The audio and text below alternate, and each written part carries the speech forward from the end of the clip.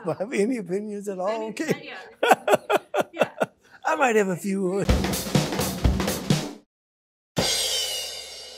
Well, uh, gasms, uh, I think that the first thing that people think about when they hear that word, uh, which is why I used it because it's controversial, is orgasms. And um, not realizing that there are many, many, many gasms. Gasms is defined as anything makes you feel good. Christmas could be a gasm, you know. People could be a gasm. Something that someone says to you could be a gasm. Or a gasm could be a could be a gasm. I, I really don't think that a gasm could be underrated. I, I, you know, it's something that makes you feel really good. How could that be underrated? So I, think it's definitely rated where it should be. It's, it's, it's rated way up there somewhere. So um, I hope that the album makes people feel good when they hear it and they have gasms. It's according to when you get it and, what kind of how, how, how potent it is. you know, it can, it can be overrated. You can get some you can get some weed that's really overrated and it's absolutely nothing. And then you can get some that's underrated and they didn't warn you exactly what it was. So yeah, as a, as a weed smoker, I say yeah, you you can get it's, it's both of those many times. And, and and I'm so happy now that they have dispensaries because many times when you had to get it, you know, just where you got it, it was overrated. but now you know they have the dispensaries and, and it's legal and you can go just get it and you have a choice of several kinds and whatever. The first time I got one of those feelings from smoking weed that I felt like, oh man, this is too much for me. I, I want to I wanna stop this. you know, please let me come down. You know, I was paranoid.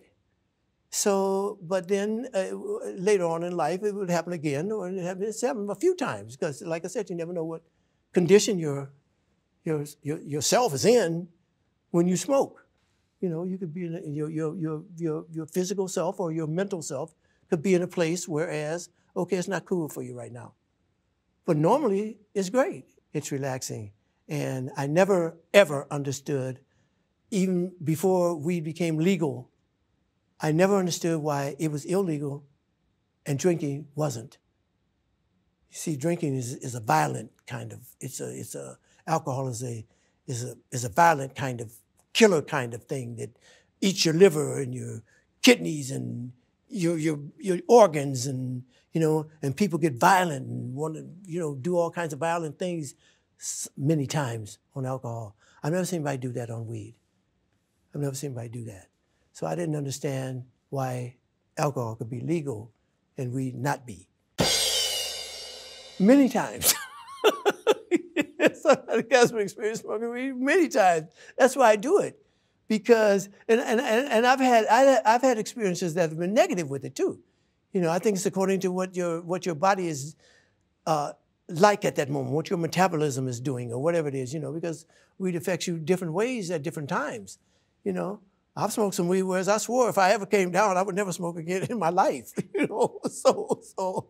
But uh, the very first time I ever smoked, uh, after you know, I was um, just getting ready to graduate from high school. Uh, I always played sports in high school. I played football and basketball and baseball for my high school and stuff like that. So my friends that I grew up with, and I tell my kids this all the time, don't tell me about peer pressure because if you did it, you did it because you wanted to. Because I grew up with some gangsters, man.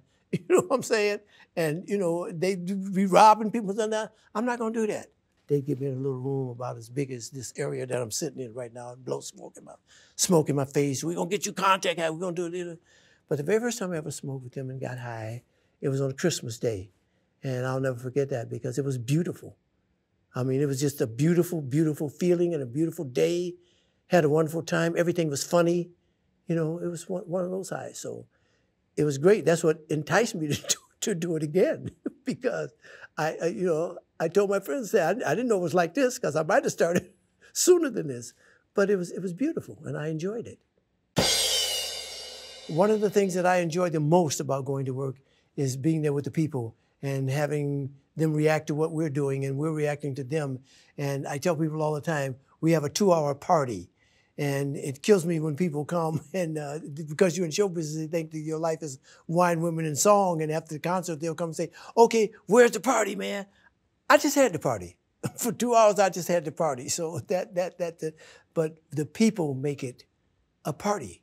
I, I, I think that it, if it gets out of hand violently, yes, I think it could be, you know, I've been doing this for a long time, and I played uh, most places you could even think of, you know. And, and, and there's a there's a thing back in the day, especially called the Chitlin Circuit, where you'd play some gigs that you be afraid to go in there.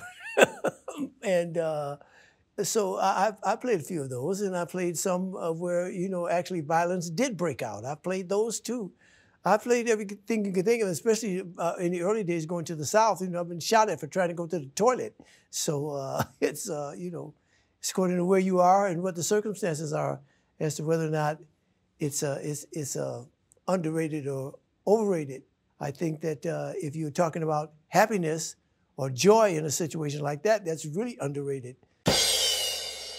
Well, when you start talking about kids, there are a lot of things that I think are uh, overrated or underrated. And it, I think it's according to the author and what they're trying to portray to the kids. You know, I, I think about back in the day, the old nursery rhymes, they were all negative when you think about them. Rockabye baby on the treetops. When the wind blows, the cradle will rock. When the bough breaks, the cradle will fall, and down will come baby, cradle. How pleasant is that for a child to think about that? Humpty Dumpty sat on the wall. Humpty Dumpty had a great fall. All the king horses and all the king men couldn't put Humpty together. So Humpty's destroyed. How pleasant is that? You know what I'm saying? Jack and Jill went up the hill. Jack fell down, broke his crown. All those were negative. You know what I'm saying? So I, I just don't know how people got away with calling those nursery rhymes because they're, they're, they're morbid. So I don't know how people got away with that. But I think that nowadays people are trying to do things uh, or, or write stuff for children that's constructive, that, that, that gives them hope and gives them, you know, the, the, the idea that they can be whoever they want to be.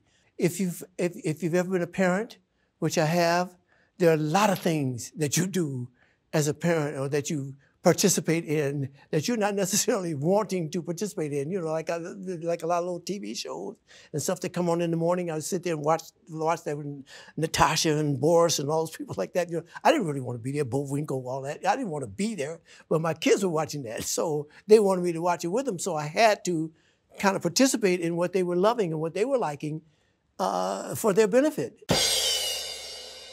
Well, uh, for me as a songwriter, uh, I couldn't say anything uh, except for it would be the best explanation I could give on that. It would be underrated, because there's no there's no feeling for me as a, as a songwriter than to have someone singing my songs. You know, I, I remember when the kids first came out and they were sampling people's songs and and putting your music into their music, and people say to me, "Oh man, they're sampling the songs. Isn't that a drag?" No, no, no, no, no. Sample all of mine. every song I ever wrote in my entire life. Please, because man, there's, there's a billion songs on earth. You know, if one of mine meant enough to you for you to include it in your music, or whatever you do to replicate it, that's fine with me. Please do all of mine because as a songwriter, I think you can't beat that. And I, I want people to sing my songs. I want people to enjoy them forever and ever. I tell people all the time, I want to be Beethoven. I want 500 years from now for them to play my music and singing it and, and, and, all that.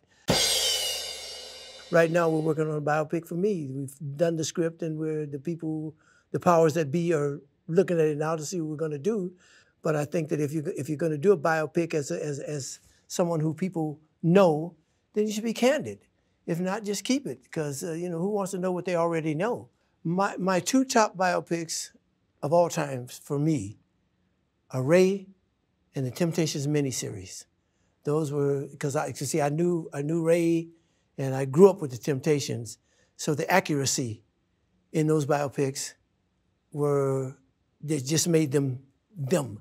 And uh, I knew Ray well, and I know Jamie.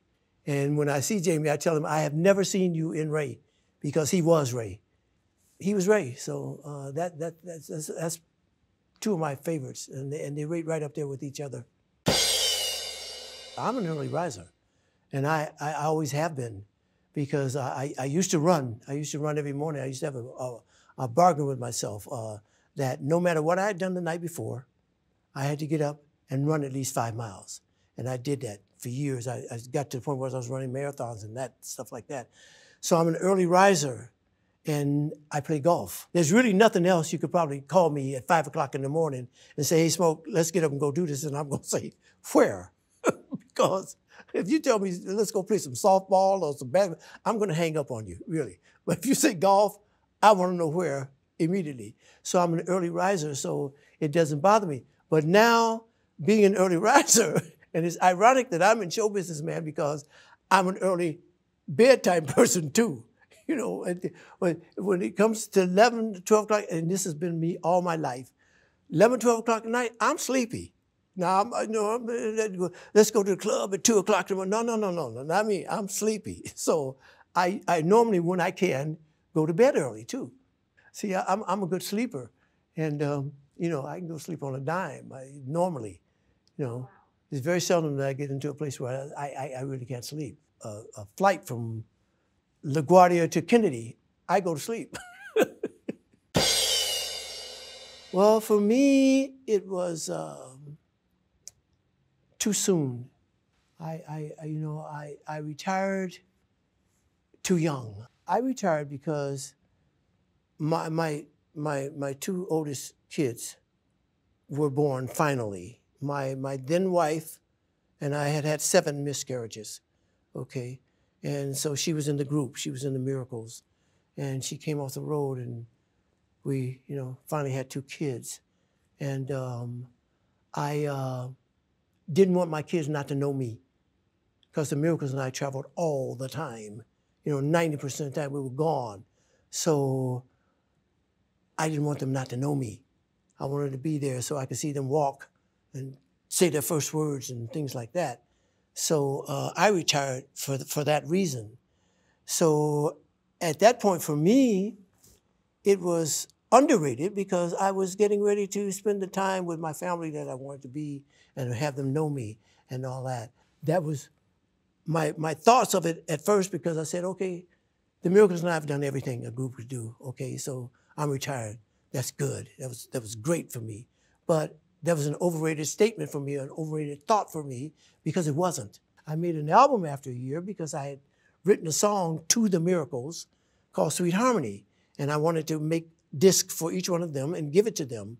And the lady who was our A&R director at Motown at that time convinced me, in fact, to make a record of it so the world could know this is how I feel about the Miracles. And I, so I finally agreed to do that.